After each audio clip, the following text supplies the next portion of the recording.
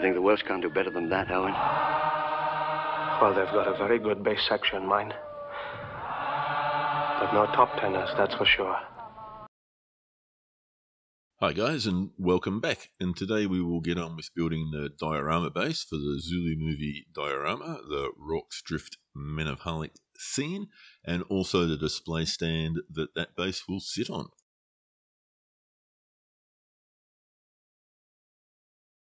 So visible in the scene in the very foreground is guys hiding behind a wagon that is covered in sandbags. Now I've got no idea where I got this wagon from. I want to say that it's a Perry Miniatures one, so metal with a resin bed, but I'm not 100% sure, and I can't find where I bought it from. So construction is very straightforward. Just need some super glue or some um, CA glue to stick the metal to the metal and the metal to the resin. Doesn't come with instructions, but it's not rocket science to work out where the very few pieces all go together.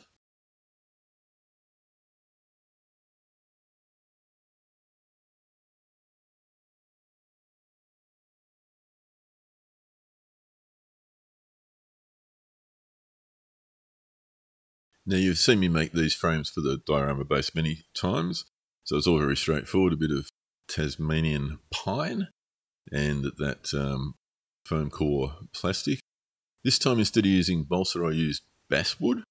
And I did have visions of cutting this out on my wife's Cricut cutting machine, but technical issues and a lack of skill conspired to stop me from doing that. But since I was just making a few straight cuts, I thought I'd go for it myself.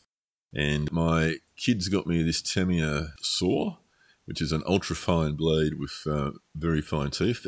Absolutely magnificent for this. It doesn't flex like my old one did. And if you take your time and on a secure surface, which I wasn't quite all the pieces together, it gives you a really, really nice cut. So I wanted the basswood because I wanted to be able to stain it rather than paint it.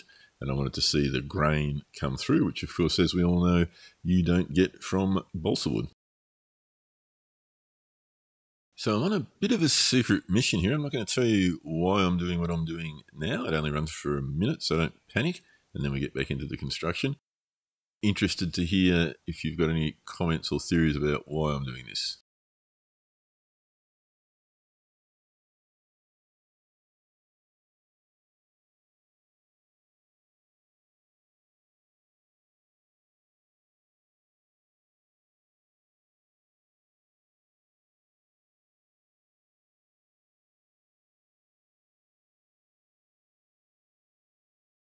Anyway, back to the box. So just using some of the Elmer's white glue and just build a bit of a framework inside to make sure it all stayed square and level, which I'm always happy about when I achieve levelness.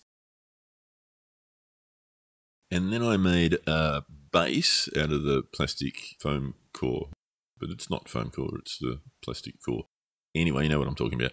I made a base that had a inset in it so that it would sit snugly inside the frame and the actual diorama base itself I could then have above the display box, if that makes sense. It'll make more sense when you actually see it. Full disclosure here, I used the Revell Contacta Professional to glue these two bits of plastic together and came back the next day and they were not glued together. It hadn't done anything at all. And I think I then went to using a two part epoxy glue like Araldite or something of that nature.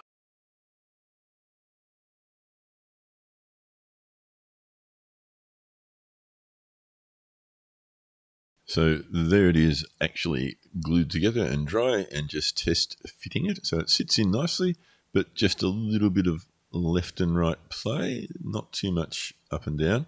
So, in the process of putting on the basswood edging, because I wanted the uh, ability to be able to stain that and protect it as well, I also put a couple of shivs. I think the word is shivs, or I might just be making that up, on the inside of the display stand box itself. So that just gave us a slightly little better friction fittage when the diorama base slots in.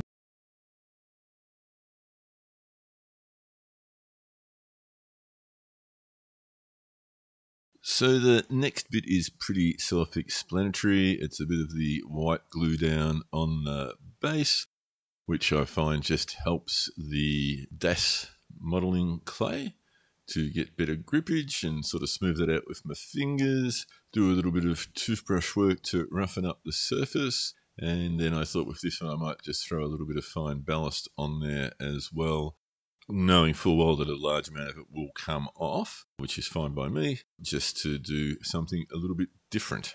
So I will leave you with some music and a bit of a break from my voice for a few seconds, and I'll be back in a tick.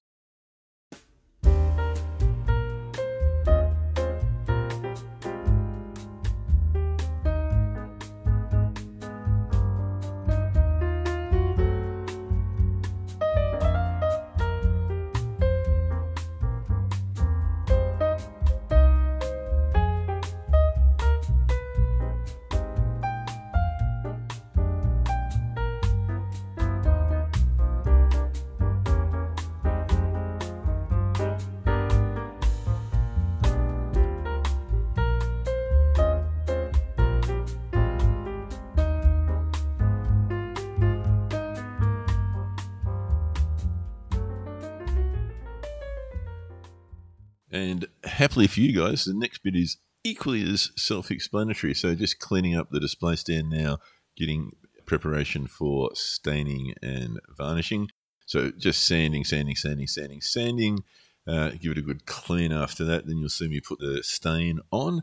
So paint that on and then rub it off pretty much straight away. And then finally the clear varnish and the final results of that, which I was really happy that I chose to use the basswood instead of balsawood. I think it's come up pretty well. So again, bit of music, and uh, I'll be back in the next section.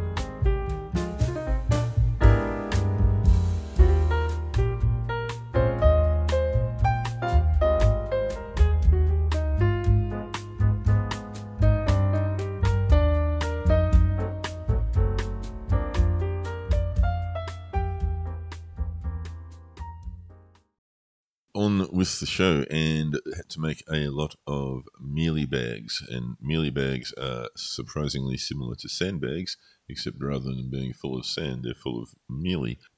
And I'm not 100% sure I really know what mealy is, but when I Googled it, it looks like it's some sort of corn or maize.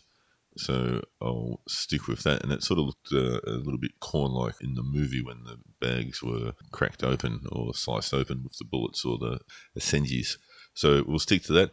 Anyway, I made a little template here to get the thickness of the what I'm using initially is DAS clay and just rolled it out with a brass rod. A bit soft, need to persevere for a while, but fundamentally get it into the right thickness. And then I printed these um, 3D sandbags or mealy bags, so I was confident they were the right size for the scale because I actually got them from Shapeways, I think it was, or MyMiniFactory. But obviously, you're not flexible, and I didn't have the mental capacity or the skills to design the entire mealy bag wall in the CAD software. So I went for a hybrid of, well, I know these are the right size, so I'll print some of these out and just use them as a guide to get the size right.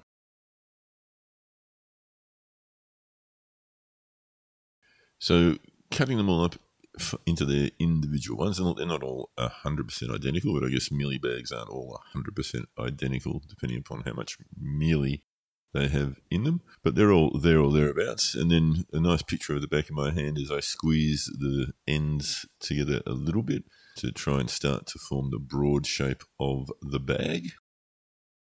And then just sort of flatten them down a little bit with my sponge. Use my silicone sculpting tip to take the squareness out of the bottom edge. And then, not really all that complicated, a bit of the white glue on the base, and just start the process. It is tedious, but it has to be done. There's no one else.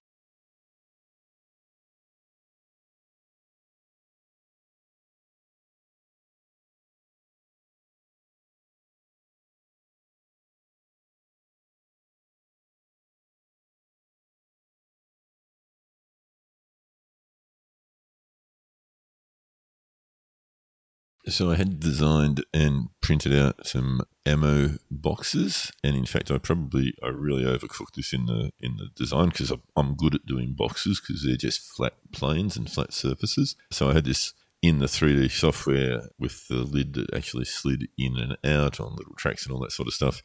And that's fabulous when you can zoom in in the CAD software and everything's huge. And I, of course, you, you forget that when you print it out, it, uh, it doesn't look anything like it does. So, anyway, starting to do a bit of a mock up here. You can see there's a couple of rogue figures in situ that aren't strictly speaking in the scene, but I wanted to play a homage to the chap in the front who gets a mouthful of mealy.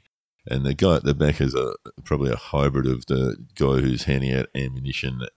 But I wanted to include the flag as well because I think the flag looks really cool. And I know I wasn't in the scene, but it's my dio and I wanted the goddamn flag.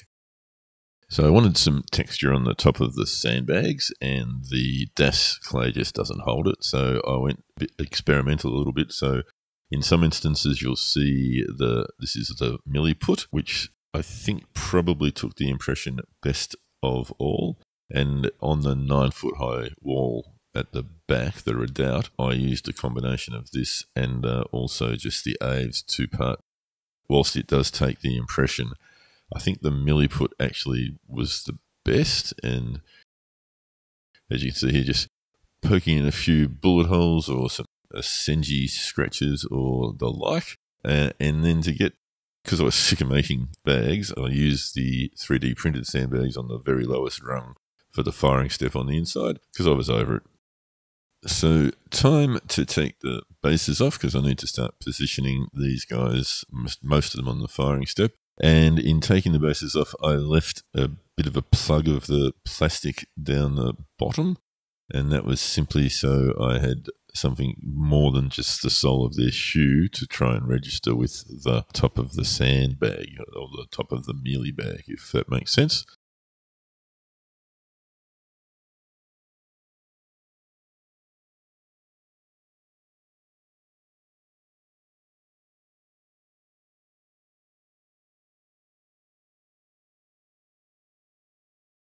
So kick off the painting with some surface primer. So this is the Vallejo Black surface primer, which I really like. And um, I took this outside to do because uh, it was a pleasant afternoon. That's why the lighting looks a little bit different. And I got sent by the good folks at Neat and Handy this fantastic little airbrush, and it's all built into the handle, the compressor. So there's no cables. It charges off a rechargeable battery and I'm testing it pretty thoroughly before I do a review. So this is the first time I've used it, but uh, I'd have to say my first exposure to it was fantastic. So there'll be some subliminal uh, product placement throughout the rest of this video as I use it to paint the dio base and do the varnishing and, and other bits and pieces. But uh, I'd have to say, at first blush, very easy to use, super, super simple to clean and um, yeah, no no cord. So the fact you can just pick up and, and grab your stuff and go outside if you need to, especially if you're painting with enamels, it, uh, it, it seemed really really good. So anyway, painting I don't really need to explain. You can see what I'm doing. So I might wake up some music, give you a break from my voice, which would be understandably deserved, and uh, wander back when something uh, a little bit more worthy of explanation starts happening.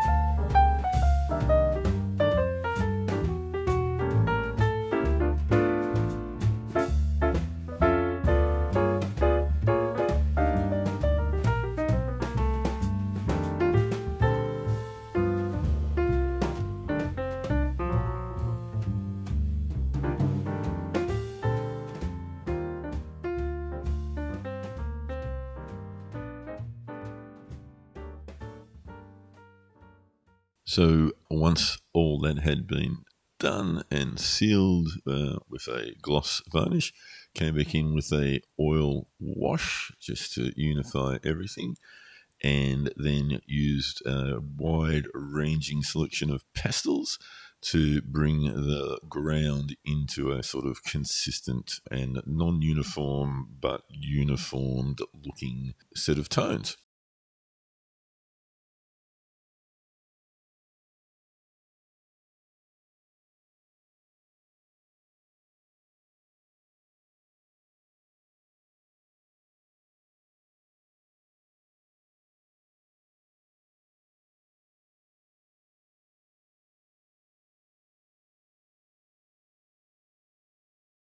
So on with the bits and bobs, and I needed a few Zulu Asenjis and shields lying around. Uh, so I just made these straight from wire and smacked them down with the, the hammer to get the blade. Found this in the old iPhone earphones to get some thin wire or string, and then made out of the Aves two part epoxy the shield facings. So all a bit rustic, but it is all rustic stuff that the Zulus had made. And uh, I wanted to keep it that sort of. I didn't want it to. I I could have 3D printed these, but then I thought they would have been too perfect, and I wanted them to be imperfect, if that makes sense.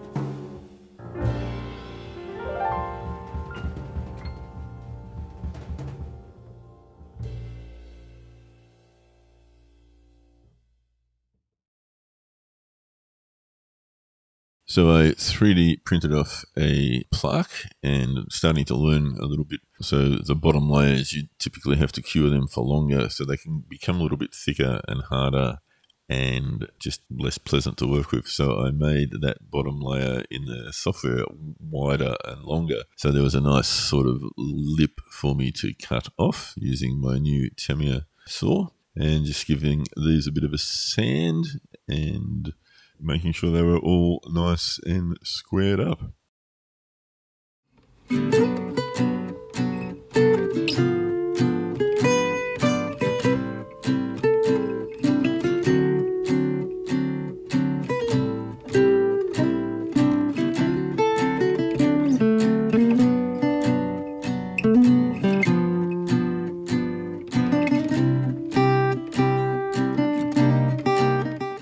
Sure how subliminal that actually was.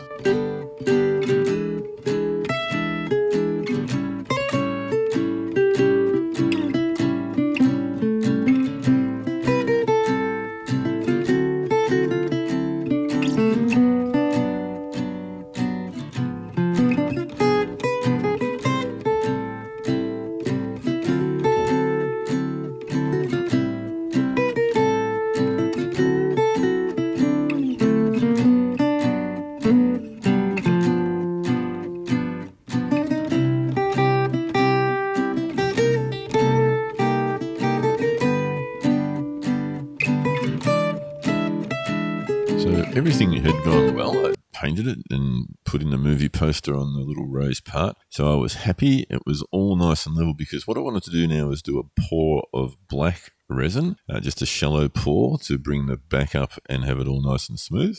And then I do a gloss resin over the top of that. Now I'm sharing this with you because I said right from the start of setting this channel up, I'd show the good with the bad. Well, it doesn't get much worse than this. So this is a real example of what not to do. So I mixed some black acrylic paint in with the, well, what I thought was the clear resin, but subsequent investigations proved that it wasn't in fact the clear resin that I'd used. I had used resin that dries white, which sort of explains why things started to go a little bit pear shaped. But there's a, there's some other reasons as well. So that's very viscous, which I, was what I was looking for. So I thought, well, that should pour very nicely. And I'm not sure because perhaps it was the small quantity that I had put together and perhaps I was a little bit too slow to get it poured, but it wasn't as viscous as I thought it would be when it actually started going in.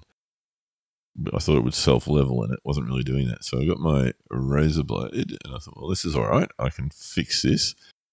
And my initial thoughts were, oh, actually, I am fixing this. This is coming out okay. And there I should have stopped.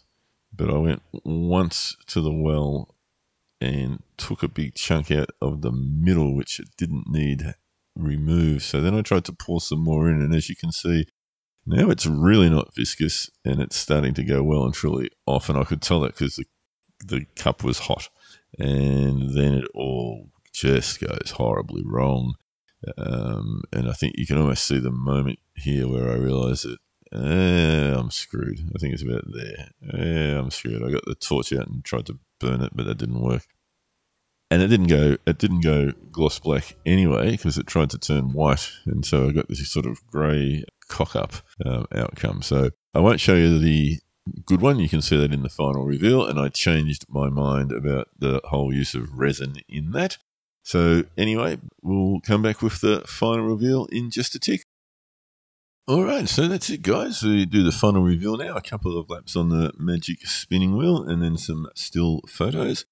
All that's left to do now is to whack the figures in and put a little bit more pastel dusting around to blend them in with the works and we'll be good to go. And believe it or not, that's all filmed and finished, and I've just got to do some audio for that. So that should be out pretty quickly after this one. So again, thanks for watching. I hope you got something out of it. I hope you enjoyed it. Good fun to make, except for the hundreds of mealy bags, which I could have done without.